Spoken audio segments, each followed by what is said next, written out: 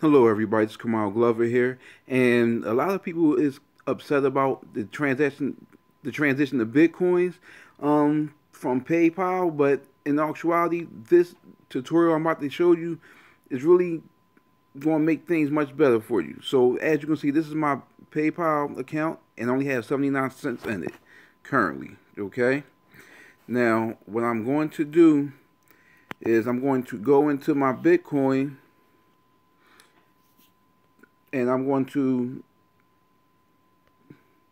transfer my Bitcoin into my PayPal. Now, is a 4% fee when you do transfer it. So, be mindful of that.